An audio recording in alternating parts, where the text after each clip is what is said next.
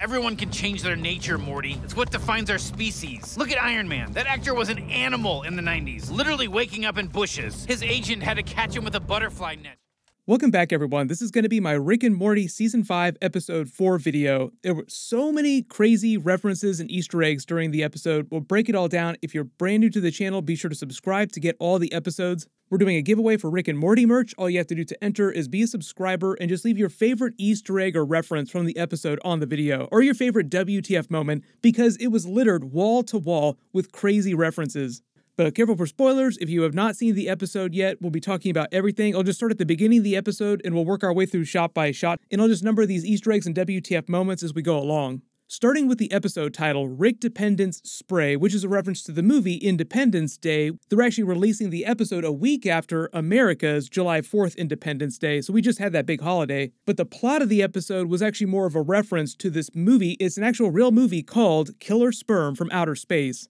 You can make all the jokes about this season being the horniest Rick and Morty season of all. Like, Sex Dragons was a big deal, but they're taking almost all the season 5 episodes to next level. But Dan Harmon said that a lot of the Chud storyline during the episode, sort of like the B storyline with all these horse people in the sewers, wound up making it into the episode to purposefully highlight just how ridiculous the overall plot was. Even when they're getting hauled in by the horses, Morty says, This is out there even for us. Like the writer's referencing that the overall storyline with the Chuds, the monster sperm, like this is almost too ridiculous of an episode, even for Rick and Morty. And Rick answers saying, shh, be quiet, they can hear you, referencing the Adult Swim and the Turner Network's executives in real life that manage Rick and Morty. So it felt like a lot of the over the top jokes were over the top on purpose, highlighting just how ridiculous the episode was in a really meta way. They were also parodying a lot of low budget 80s horror slasher sci fi picks too, especially with this giant sperm plot. But the cold open begins with Morty at Beth's horse hospital trying to get Beth to hurry up and finish work so that they can go see their movie. They were referencing the Black Widow movie, which actually just got released last week, because Beth says, let's go see what the new Marvel movie that you're all jizzing over is which also plays into the whole idea of all the Morty sperm during the episode. It almost felt like it was a requirement of the episode that in every single scene, at least one of the characters at some point makes a reference to jizz. They made fun of Marvel a couple times during the episode, like that Robert Downey Jr. joke that I put at the beginning of this video. They've referenced Marvel a couple times already this season in episodes, and I talked about a little while ago, but the whole idea is that Dan Harmon has been telling jokes about how Marvel has been stealing all the Rick and Morty writers the past couple of years, because several of them are now working on big Marvel Phase 4 projects, like Michael Waldron is the showrunner on the Loki series right now, and he's writing the Doctor Strange 2 Multiverse of Madness movie, the whole premise of the Loki show is kind of similar to the premise of Rick and Morty, with many versions of the Loki character from alternate universes. The writer from Pickle Rick in season 3 is now the showrunner on the She Hulk Marvel series, and then Jeff Loveness, who wrote the first two episodes of Rick and Morty season 5, is now writing Ant Man 3 Quantumania. So if it feels like there are a lot of Marvel jokes during season 5, it's probably because of that. But then Morty locks eyes on the machine that they use for artificial insemination for basically milking male horses, and being the 14 year old that he is, immediately volunteers to work there so that he can use it to jerk off as much as possible. He's like a savant when it comes to finding new ways to pleasure himself. They don't really give you an idea for where this episode falls in the timeline, or if it's after the events of last week's episode. You'd think that he'd be heartbroken, but he's a 14 year old kid, so touching himself comes as naturally as breathing.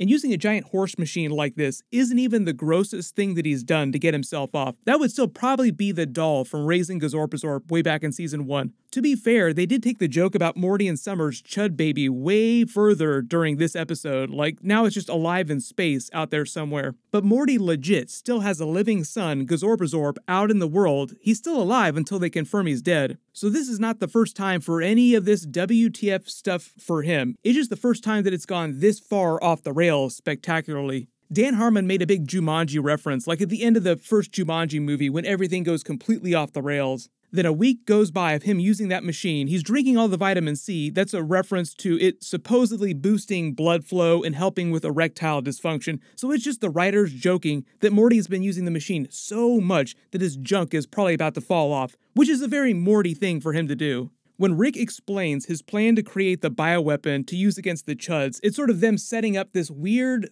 B storyline during the episode where they explain that this race of Chud horse people has been living in the sewers for over a hundred years, and there's been this Game of Thrones level shadow war that the American government has been waging with them, like this Cold War that's been going on for the last hundred years. Like I said, Dan Harmon kind of explained this whole horse person storyline as a product of how ridiculous the episode got. Like, okay, we wanted it to feel as ridiculous as possible. And if you're not familiar with the reference, CHUD is actually an acronym. It's based on a movie, CHUD, which stands for Cannibalistic Humanoid Underground Dwellers. In that old low budget slasher movie, the CHUDs were former humans who were mutated by radioactive toxic waste. And I think one of the funnier things in the episode is they never fully explain where these CHUD horse people originated from. Like, how did they get created? Where did the first CHUD come from? The way they set them up during the episode, this backstory they create for them, they could do a whole spin off series with the Chuds. The only thing they didn't do during the episode that I was kind of expecting though was to have Beth comment on the Chuds themselves, like the horse people, because she's so obsessed with horses. It seemed kind of weird that she didn't find them more interesting or question their existence at all. But again, I think that was just part of the joke. Like, this isn't supposed to make sense. It's supposed to be over the top ridiculous. Like, at no point in the episode do any people of any authority, even the president, question their existence. They just keep referencing this shadow war that they've been fighting against them for the last hundred years. A couple of you were also asking if the Chuds were meant to be a reference to Bojack Horseman because he's kind of a horse person. And the Rick and Morty people are friends with the Bojack Horseman people in real life. They could have been referencing some Bojack stuff here, but I didn't hear anything specifically about that. They said that the whole joke with Morty doing everything in his power to not allow Rick to find out what he's been doing, they said that this was a big problem when they were developing the episode because they didn't like the idea of everybody, the audience, and Morty knowing something that Rick did not know. But the way they build the joke up, you know it's going to blow up in their face, and it does, literally this time. They're not really clear on what otherworldly forces Rick was referencing, but the green fluid that he's using looks like his portal gun fluid. And all the giant monsters are meant to be a reference to the movie Killer Sperm from Outer Space. The movie literally is just a bunch of them from outer space in search of new planets to colonize, and they view the Earth as a giant egg waiting to be fertilized which they reference again at the end of the episode, also with all the Grand Canyon vagina references, like literally and metaphorically trying to impregnate the Earth. I do love the look on Rick's face here, though, when Morty is so willing to let Rick take the blame, like, wait a minute, what? Aren't you usually the one to take the blame for stuff like this? It's just that he's so thrown off at the thought that maybe Morty didn't do something wrong in this moment. In the car, Rick claims that he ran over their neighbor Gene. No idea if he's dead, just because the car runs over a large bump that he says feels like Gene. He's the next door neighbor from season 3 who was trying to butt in when Morty and Beth were arguing.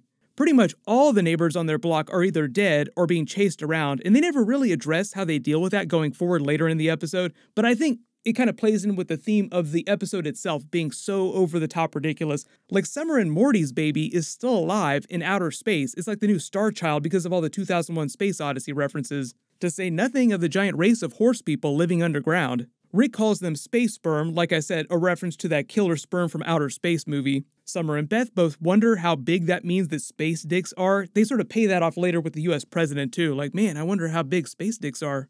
I think the funnier thing, though, in this scene is when Rick says, Oh, I've seen them before. They actually exist. They're a real thing in outer space. So apparently they're just space sperm flying around in the Rick and Morty universe. Then the US president is back for the rest of the episode. He calls for Rick's help again, just like season 3, episode 10. Keith David was back for a cameo scene during episode 2 earlier this season, but it was just for like a really brief scene. This time it's the whole episode. There's also other trailer footage with him doing other stuff with this giant turkey later in the season. So apparently the president is in a bunch of episodes this year. They take them back to the same secret tunnels and bunker under the White House from season 3, episode 10, although they don't reference any of the special rooms that are hidden down there. Morty tells Rick that sometimes you have to wipe off your problems and toss them in the trash, another reference to jerking off. There were a thousand of those in almost every single scene, just because of the whole premise of the episode. Rick references cosmic DNA, Yeti, Chupacabra, and implies that both Stonehenge and ancient Rome all were sites related to sperm from outer space. Then, like I said earlier, the president references this giant shadow war, this conflict that the US has been having with the Chuds for the last hundred years or so. And because they're trying to tie this together with the whole Morty lie storyline, he's ready to blame the horse people for the sperm and start an all out war. When he tells Morty to blow the whistle, toot toot, and talk about Rick, that's just a joke about him being abused by Rick. Like, we all know Rick cares about Morty and the family, but a lot of the adventures that they have do involve Morty being abused in some way. But to be fair, a lot of the abuse that he suffers is because of problems that he himself creates, especially in this week's episode. Then, sort of playing into the idea of him lying through the first half of the episode, Morty says that America invented apple pie and lasers. He's only half lying there because the first working laser was created created in America in the 1950s, but apple pie was supposedly created in England back during the 1300s.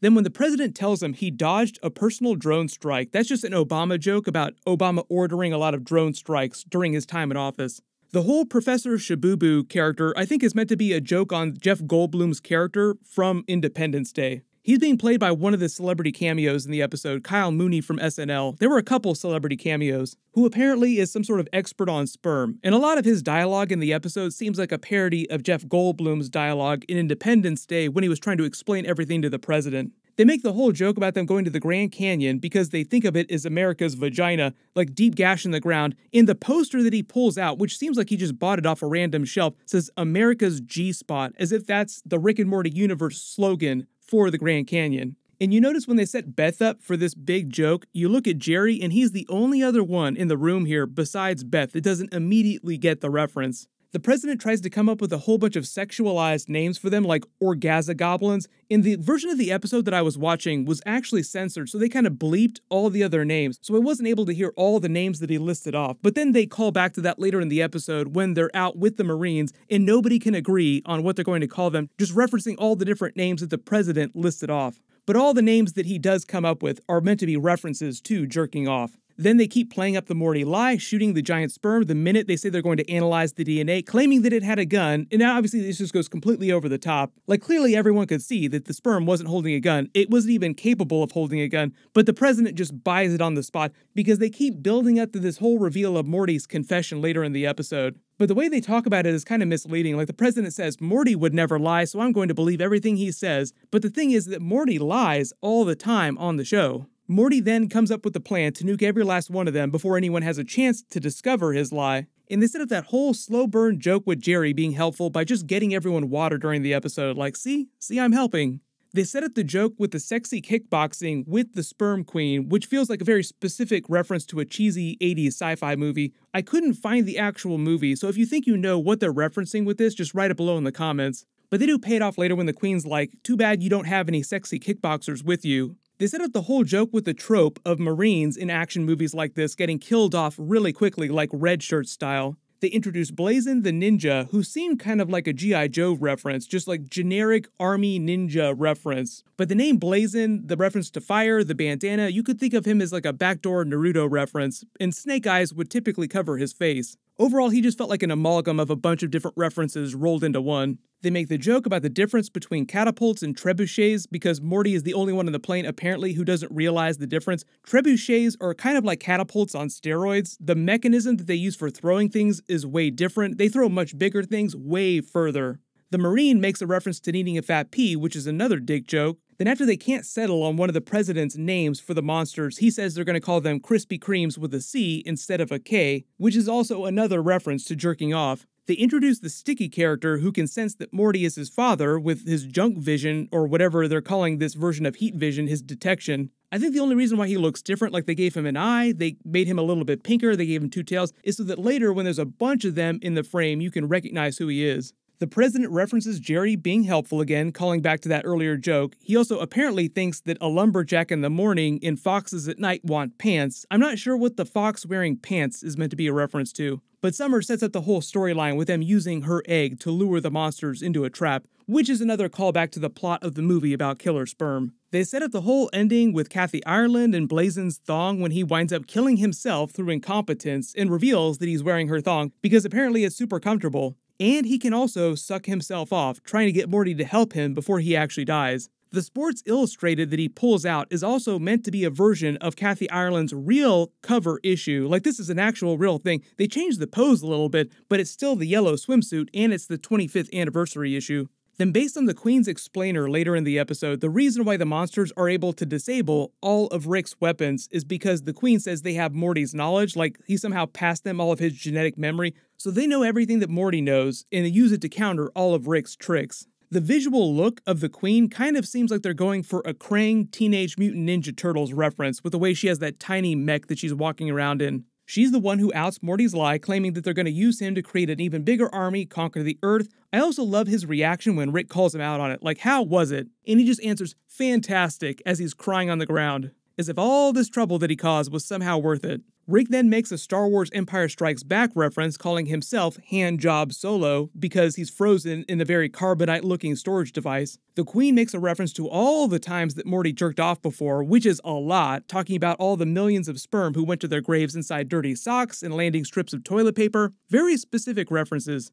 I also love the way Rick reacts here when they start milking Morty. He rocks the prison like he's got some secret escape plan, but then's like, nope, I just did this to get out of your eye line so that it wouldn't get weirder than it already is while this is happening. When Rick says the monster army heading to Vegas tracks, that's just a joke about how debaucherous Vegas is. And then later, when they cut to the president and everyone partying in Vegas, they make a ton more similar references. Like he says that even though they have this giant human egg to lure them here, Vegas by itself should have been enough. Later, when they're spraying down the place with a bunch of semen, Summer asks, Where did you get all that? The president just shrugs and says, It's Vegas. I also think that them partying here in Vegas while this is happening, even though the world might end soon, seems like another Independence Day movie reference with all the people partying, despite the fact it's the end of the world. Then they set up the whole joke with them inadvertently creating the baby with Morty and Summer. You have to imagine that Glasses Morty from the Citadel of Ricks would probably be the only person in the multiverse that would be happy about this. Then, when everybody else finds out about what Morty did, the president implies that he did something just as bad when he was 14, saying, We were all 14 once, but come on.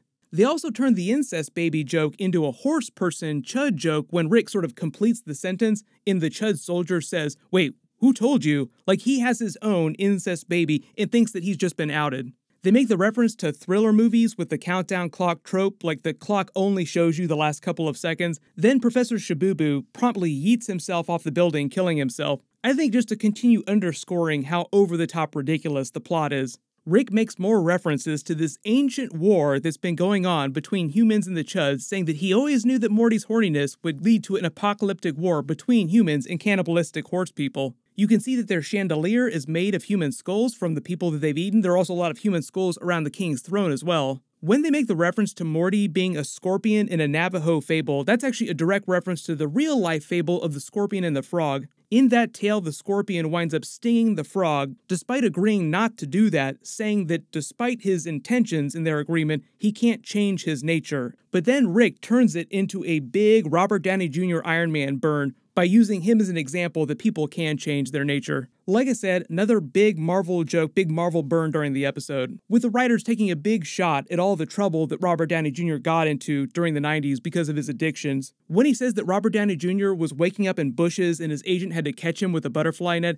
that's actually a reference to something that he did in real life. He wound up going on a bender once and waking up in a stranger's house, like he broke into someone's house while they were high, didn't know how he got there, and then wound up getting arrested. But that was many years before he ever became Iron Man, came into the MCU. By that time, he kind of turned his life around. Then things really go off the rails with this storyline when they set up the idea that Rick apparently slept with the Chud princess, Poneta, and she's pregnant with his horse person baby. And they just play it like it's not that big a deal. Rick slept with a planet. He's also made references in last week's episode to sleeping with a bunch of alien queens all the time. So he does do stuff like this on the regular. Then, like I said, Morty sort of calls that out like this is out there even for us. Like this is ridiculous even for a Rick and Morty episode. I also love that when Princess Poneta reveals her child with Rick, his reaction is to admit that he has a substance abuse problem, like he probably got super drunk one night, went on a bender, and then wound up sleeping with her. But this whole subplot kind of goes full soap opera. Like I said, it kind of goes full Game of Thrones telenovela. They could turn this into its own spin off show.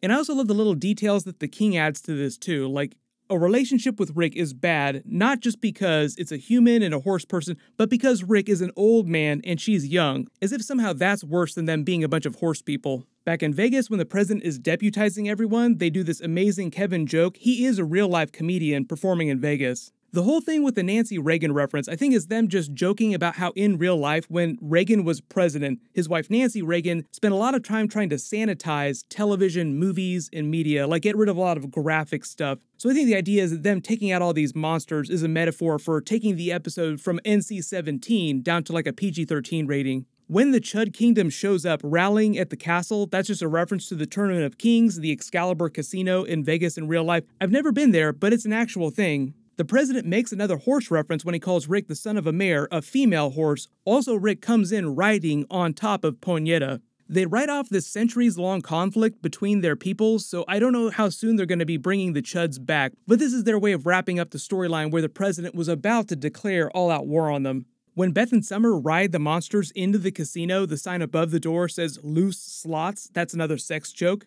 The Sultan of Swoon sign on the Mirage in the background is a Frank Sinatra reference because he performed a lot in Vegas over his lifetime. Then Summer implies that she's been doing a whole lot of butt stuff on the DL, but she's always been very open about being a total freak in bed, so this shouldn't be that surprising. Sticky winds up killing the queen, but then fertilizes Summer's egg anyway, and then the president just kind of wipes his hands of it, firing it off into space, like, well, it's space's problem now, because we're not killing it, it's an election year, which is another abortion joke. Like the president doesn't want to piss off all the pro life voters. And they pay off that whole Kathy Ireland scene at the end, and it's actually Christina Ricci, special guest star, playing Kathy Ireland during this. They also use this to pay off the joke about Morty lying at the beginning of the episode, like you should always tell the truth, even if it's going to hurt someone. Then they subvert the whole trope of the moral message that happened at the end of a lot of animated series episodes when Rick calls it out saying, No, no, we're not doing that. I have my own epilogue to deal with because of the whole horse baby that he has with Princess Poneta. They telegraph a little bit where this is going just because of the way the rest of the episode is wrapping up, but they have the whole joke about Rick becoming an honest man, giving up his adventures, starting a new family, a new horse family with Poneta, but then instantly take it back, saying the Chuds are born, fully formed, and we won't have to raise it. So they kind of both wipe their hands of it, almost high five each other, and then walk away. Like, peace out, see you later, no worries, no harm, no foul. The whole joke with the red button shout out saying that was easy is actually Dan Harmon's voice sort of calling out how it was super easy for the writers to write themselves out of this corner. This is their way of avoiding having to deal with Rick's Chud's son in future episodes, but technically he's still alive, so it would be funny if they made some verbal references to all these children, like even Morty and Summer's child in space. But then the post credit scene does pay off the joke about Morty and Summer's baby, and it turns into a big Star Child reference from 2001 Space Odyssey. They even play some of the theme music from the movie Thus Spake Zarathustra. And like I said, he's still alive, just floating around there in orbit, so we'll see if they have some joke about him in a future episode. But it seems like next week's episode 5 is going to be another Rick and Jerry episode. If you did spot any Easter eggs in this episode that I didn't mention in the video, just write them below in the comments. My full Loki episode 6 finale video will post Wednesday, and my full Rick and Morty season 5 episode 5 video will post next Monday, just like normal. Everyone click here for that brand new Loki deleted scenes video, and click here for my full Loki episode 5 video. Thank you so much for watching, everyone stay safe, and I'll see you guys tonight.